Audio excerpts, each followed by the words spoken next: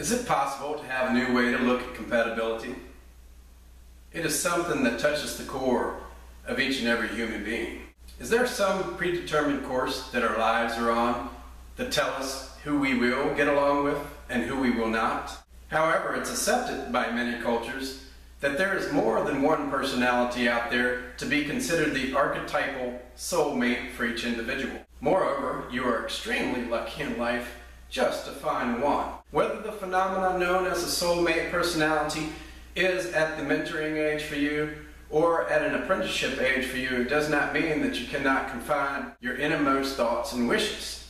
And finally, if you find the phenomena of a soulmate personality to be at an age to be the significant one in your life, you are extremely lucky in this day of hookups and cop-outs. Everyone should be able to share love in a happy, healthy setting and I am here to help, hopefully, shine a light on a more meaningful existence for you. I'm Mick Scruggs, and I'm going to give those who write in a unique personal reading to find out not only the exact year and month of this phenomenon known as the soulmate personality, however, and undoubtedly, the exact week of birth of a personality to you that may have the most desirable qualities according to these three amazingly accurate ancient philosophies of astrology, the Chinese zodiac, and now with the introduction of the elements of the ancient Taoist knowledge of Qiology, the best possible communication.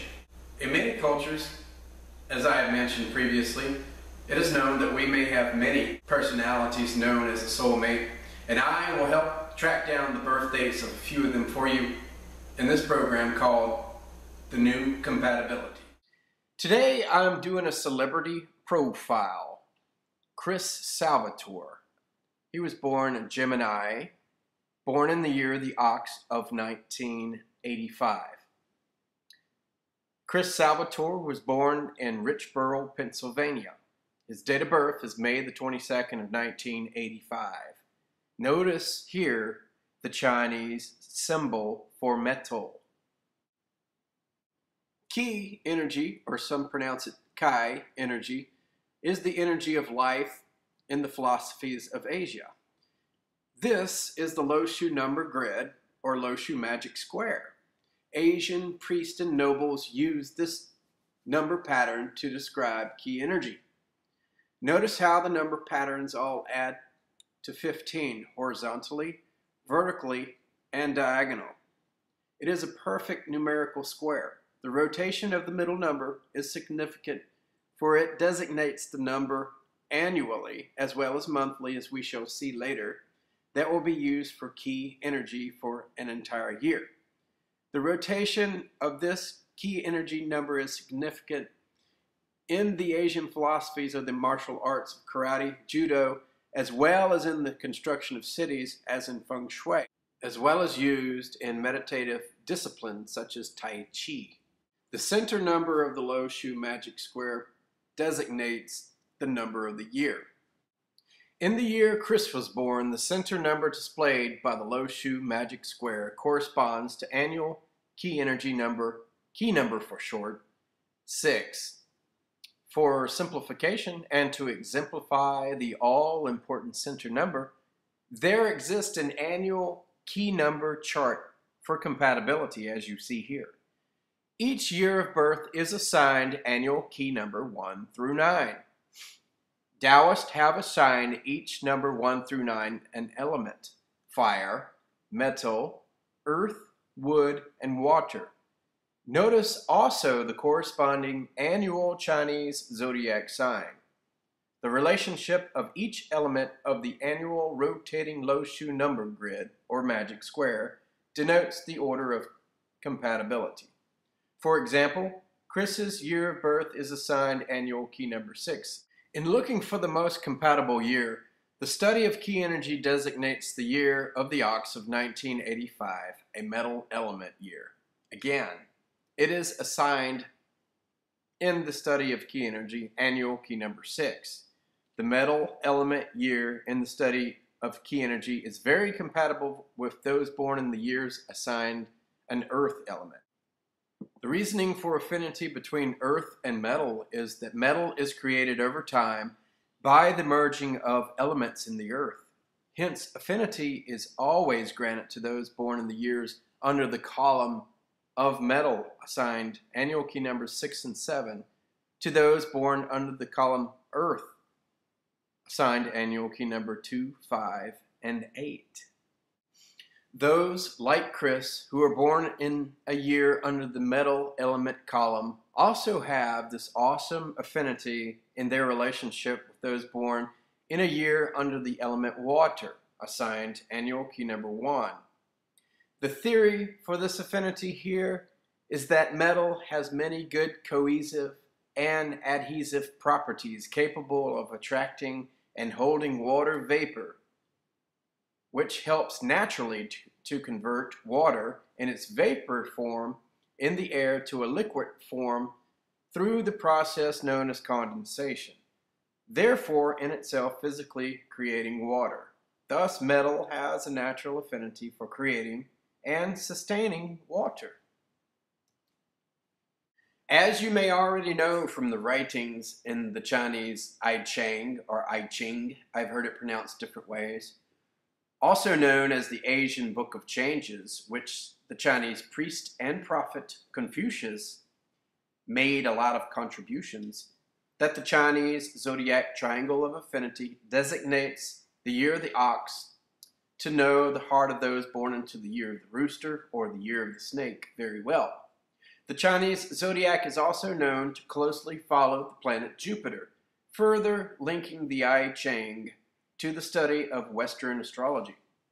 In matching the Chinese zodiac triangle of affinity to the study of key energy, Taoists have come up with very good examples closest to Chris's age of someone born in the year of the snake, 1977 or 1989. These may not be the personalities that are inclined to boss Chris around or try to control his actions. On the contrary, these may be the individuals that share Chris's interest and laugh and joke around. Affinity with these persons may come with ease and a natural feel, as they may seem to be a platform of encouragement from which Chris may make a stand in the needed areas of his life. They may possess an element about their character that just inspires Chris to have the will to develop and sharpen his skills. They may feel encouraged by watching Chris take the prize and may want to photograph or write about his successes. Chris could find a gold mine of gleaming conversation and therefore a natural feeling of friendship. This union of encouragement and success has many natural aspects and could point to a grand conjunction of love. A person born in the Chinese zodiac year of the rooster of 1981 is the closest annual key number one within Chris's Chinese zodiac triangle of affinity. It may be someone that he admires and respects already. According to the Asian zodiac, you may know their heart better than most. This could easily evolve into a soulmate spectrum of relations. I would not, as some Chinese astrologers would agree, leave out a person born in the artful year of the rat of 1972. Though a little farther further apart in age, they could be a resourceful mentor personality for Chris as well, especially if their monthly key number is an exact match with the monthly astrology mentioned next. The Lo Shu number grid is as ancient as the first human civilization on the continent of Asia. Its rotation is behind the placement of Chris's annual key number previously discussed and are arranged here in a chart denoting the Lo Shu number grid's rotation through a monthly cycle for those born in annual key years 3, 6, or 9. Remember, since Chris's year of birth is annual key number 6, this is the chart of number grids that fits his monthly key number. Now, I know I just lost some of you out there when I said monthly key number. That's because the Lo Shu Magic Square rotates through a cycle annually, and it also keeps track of things monthly. Now, let's take a look further. Notice the Lo Shu number square or magic square as it rotates through the months of the year now to give us a monthly key energy number. Just like the Lo Shu Magic Square rotates its numbers annually, it changes every year, it rotates through a monthly cycle. It changes its center number every month. That reflects the cycles of the moon, and it is related to the planet of Saturn as well. Now notice the center number of the Lo Shu Magic Square. The center number is the number that we will match to the person that is most compatible or has the most sensitivity in communication to be more capable of understanding Chris through and through. The center number for Chris's birth date of May the 22nd of 1985 was on annual key number 6. That's for the year.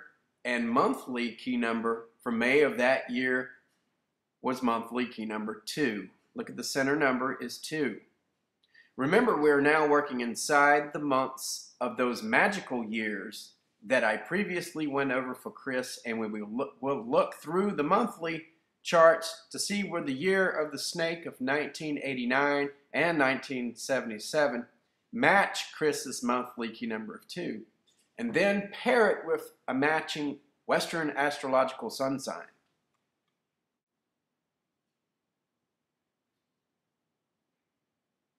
Now I turn the page in my book and I find the chart for annual key numbers 2, 5, and 8.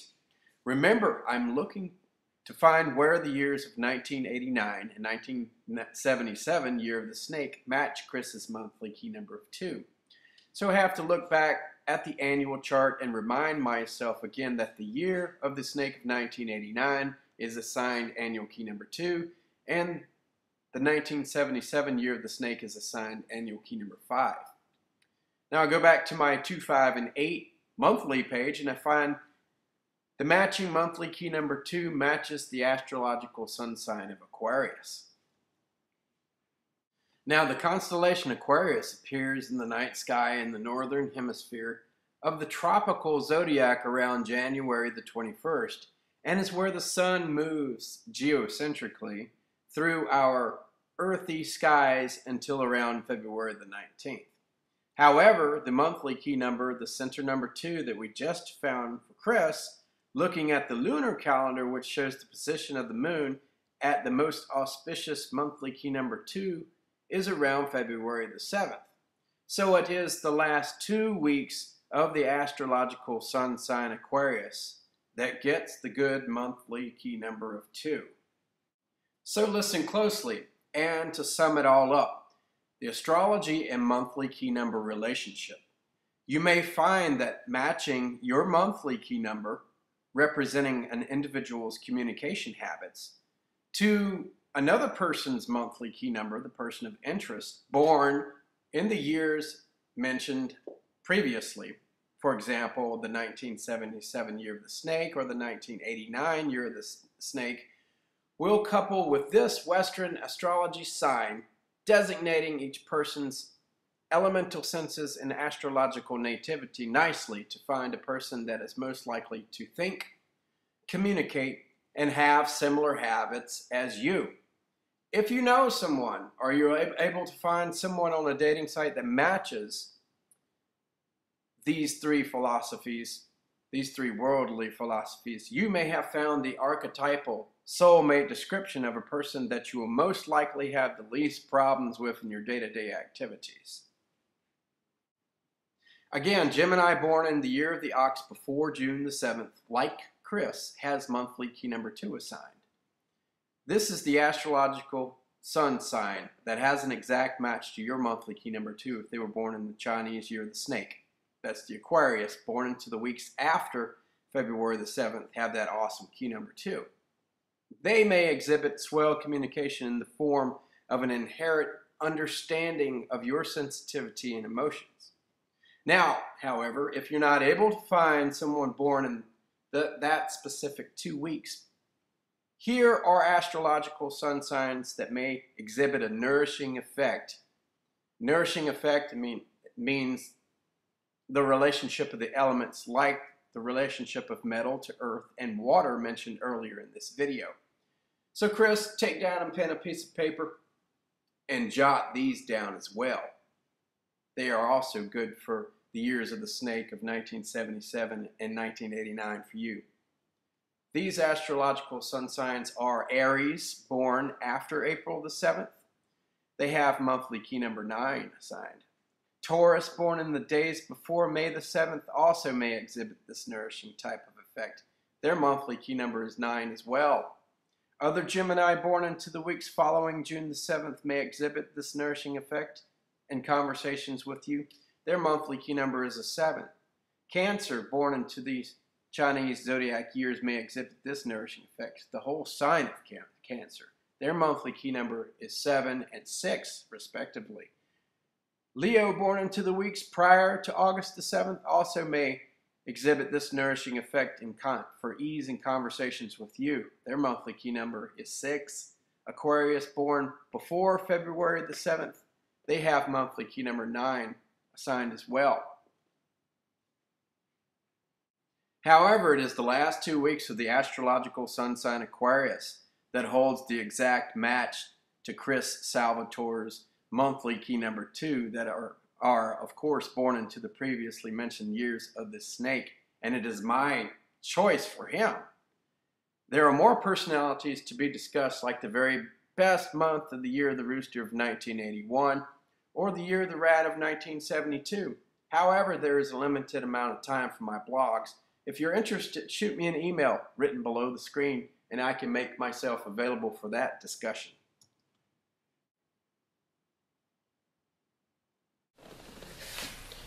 So you see that we're on a solitary sojourn through complicated patterns in time. We only get a glimpse of what is really there. And if you blink one time, you could miss that chance opportunity to meet someone that you're destined to meet. If you're not aware of the little bits and pieces of information that nature has ordained upon you, you could walk through life in a mystical fog, forgetting that the time is now to plan, to reap the love that you're here to bring into this world. So, just as the magic of the crystal ball can see into your future, with the magic of the age of the internet, Chris has a 100% better chance and opportunity, more so than that, those of us born in past generations, to find a friendship of a soulmate quality born in 1977 or 1989 near the snakes. In the last two weeks of the sun sign Aquarius, and a whole array of other astrological signs. And my thanks to you all for tuning in to this channel, The New Compatibility. Look for a new blog twice a month and write in to let me know your birth date and where you're from, and I will go over a profile specifically curtailed for you. Don't forget to subscribe and check out the links below for those that are interested in the book, Astrology an authentic focus on revolutionary discoveries and compatibility.